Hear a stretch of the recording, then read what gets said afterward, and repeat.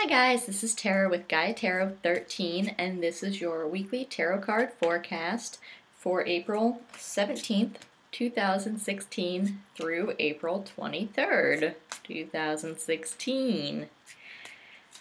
Let's see, I've got them jumping. I think they were kind of buzzing last week, but okay. As always, I will pull three cards from the tarot card deck one for your work and financial life, one for your love and romantic life, and one for your home and family life. And since I've got them all, let's get going here. For your work and financial life, we have the moon upright.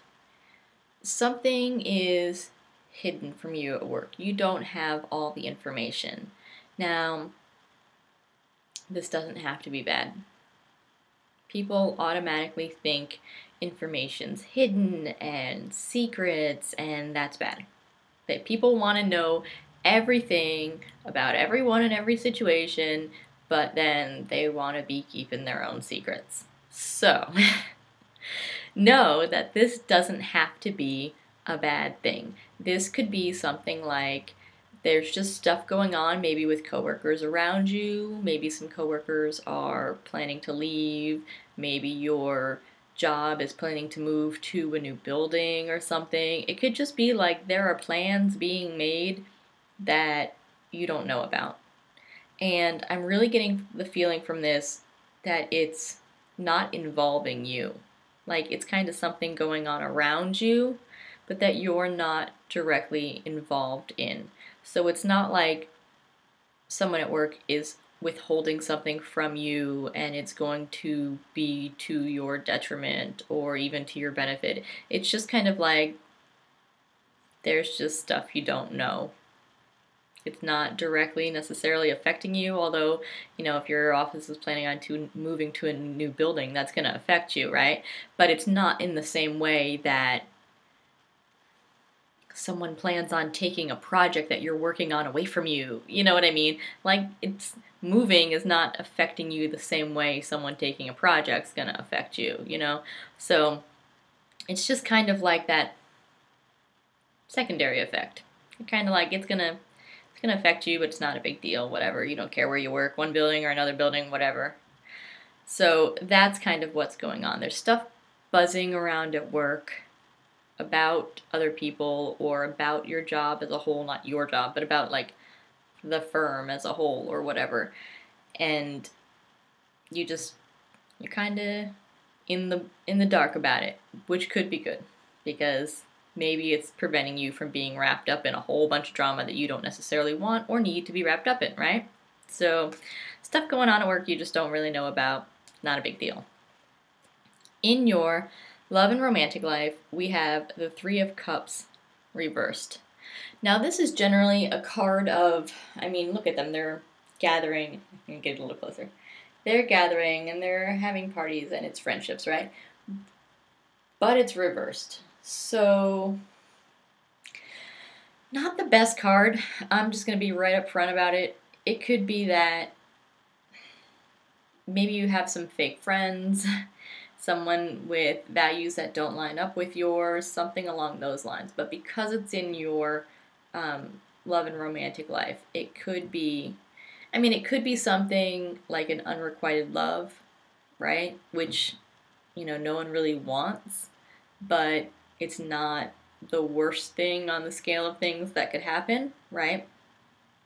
It could be that someone you're interested in you find out that they are kind of a different person than you thought they were. Like, maybe you're really into reading and like what's going on out in the world, like world news and like uh, you know things like that, like social events, and you're really like politic minded or something. And this person that you are interested in is like did you watch Keeping Up with the Kardashians last night? Or, you know, just something like that, you know, just, you know, more into media or things that aren't real or real important.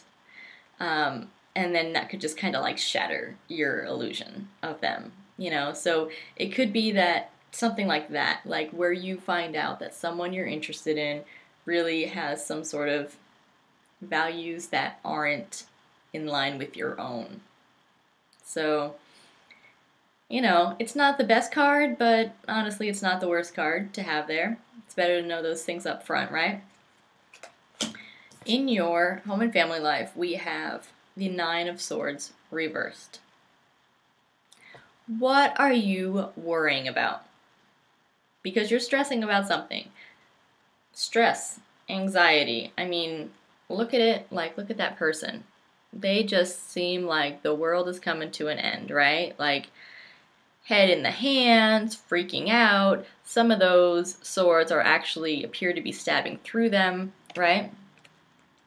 That's obviously someone freaking out. Stress, anxiety, um, fear, doubts, right? When it's reversed, it means that all that stuff that you're freaking out about, nothing's to come of it. Like, you're freaking out for no reason. That's what this card means. So, chill. That's that's my advice for this week in your home and family life. Chill out. Just relax. Whatever you're freaking out about, is not going to come to pass. And so freaking out about it is kind of a waste of time, right? Maybe knowing that nothing's going to come of it can help you kind of like, right? That's the message this week for your home and family life. Nothing's going to come of that. Try and, you know, just try and let it go because nothing's going to come of it. That's what we've got going on this week, guys looks like it's going to be an interesting week. I don't know. Good, bad. It's kind of how you make of it. We've got the uh, the moon, hidden stuff in your work section, perhaps some incompatibility issues in your love life, and then in your home and fam family life, take a chill pill. Thanks for watching. Thanks for liking, sharing, and subscribing to my YouTube channel. If you want to get a personal reading with me, the only way to do so is through my website, which is GaiaTarot13.com. Be sure to follow me every day on Facebook, Instagram, Twitter, and Tumblr, where I pull a tarot card every single day, reading the energy of that specific day. Thanks, guys. It's going to be a wonderful week. We'll see you next time.